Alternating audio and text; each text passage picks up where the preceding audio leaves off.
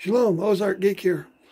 Alright, so I've been working on getting my solar system back together and I'm reconfiguring it this year um, from what I had previously.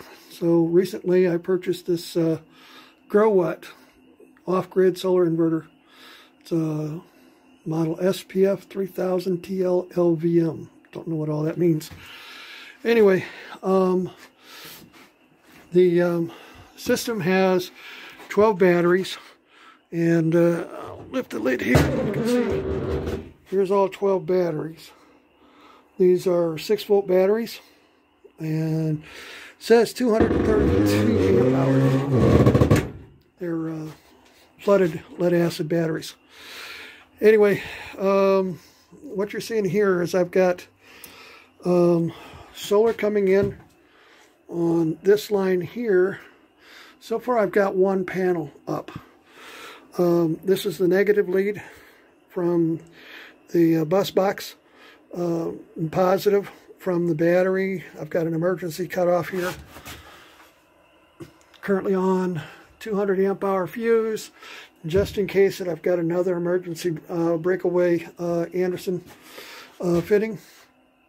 And uh, right now this box is getting AC from a wall outlet here going into it. And I'm eventually going to take a line here and what I'll do is I use my RV cord that I've got outside plugged onto uh, a telephone pole. I'm going to bring it in and connect it here, AC in.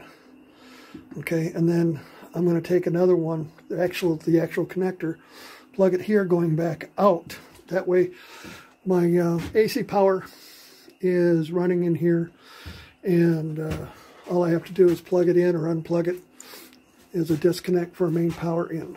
Um, this has a Growatt Wi-Fi module so that I can monitor this on my uh, uh, cell phone or my home computer. And uh, on here, you can see there's the uh, AC wires, uh, solar coming in, or excuse me, that's battery coming in right here. And in the back is the solar.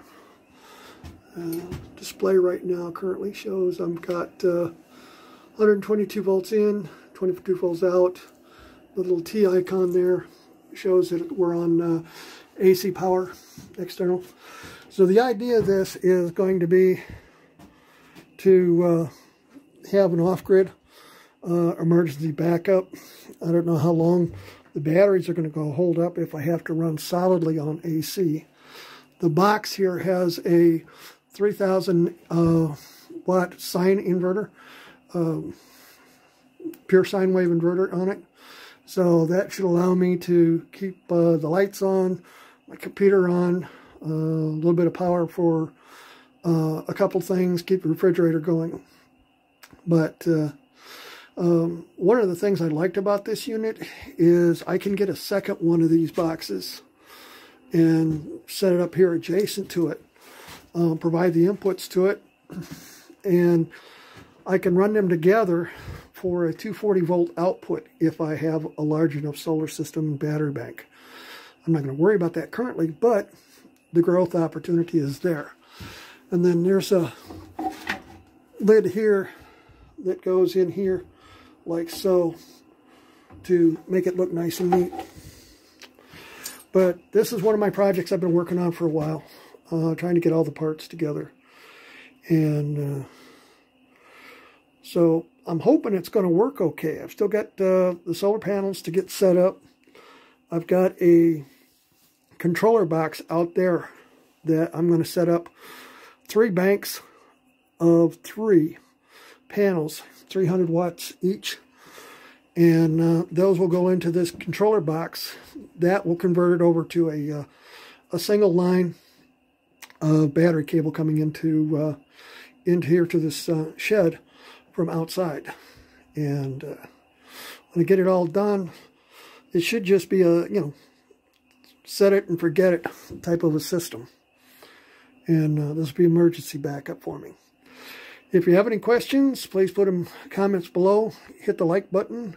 And if you haven't already yet, hit the subscribe button. And uh, I'd like to thank the guys from uh, Watts247.com for the uh, purchasing the box from them. And uh, Ian's been very good at offering assistance to my, my many questions. So uh, that's all I've got for now. Ozark Geek out.